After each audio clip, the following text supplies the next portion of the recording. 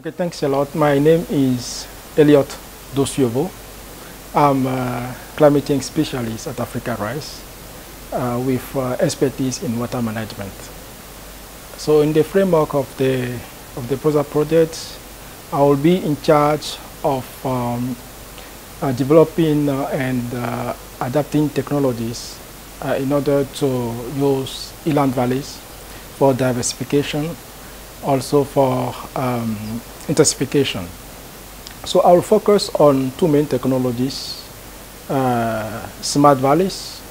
uh, which is actually a land uh, development approach, which is a low-cost approach, which can give uh,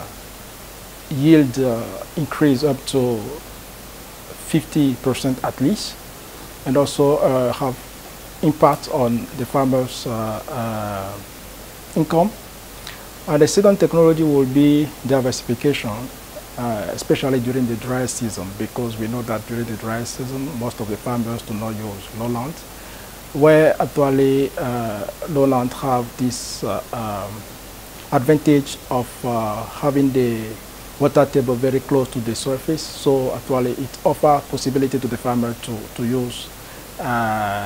uh, that landscape during the dry season to produce vegetable, which is we produce catch, but also to produce legume in order to diversify the diet, improve soil fertility. So my role, I will work on these two technology, particularly in Nigeria, where uh,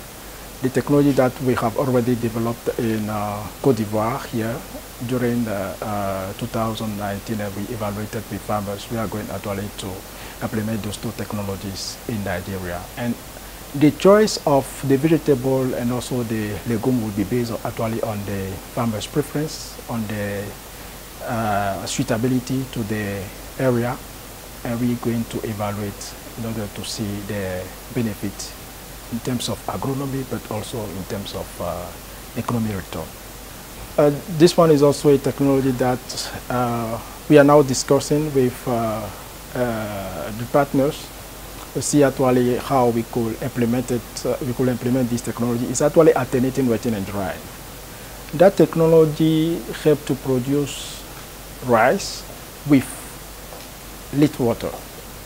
And this is particularly important for dry season rice, where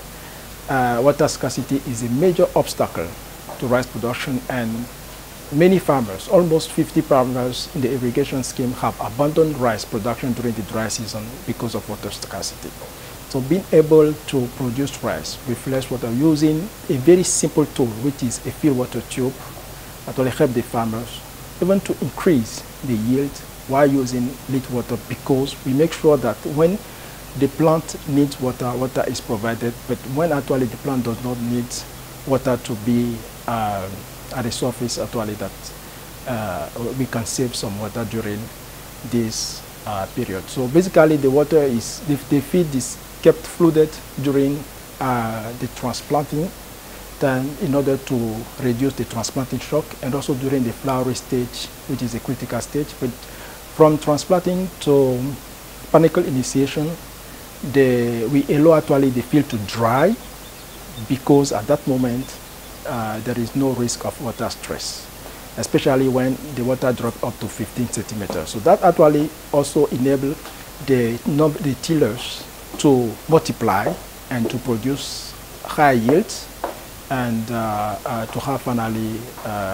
uh, an increase in yield uh, while we are using less water. So these are the technologies that we'll be evaluating and uh, promoting during actually this project.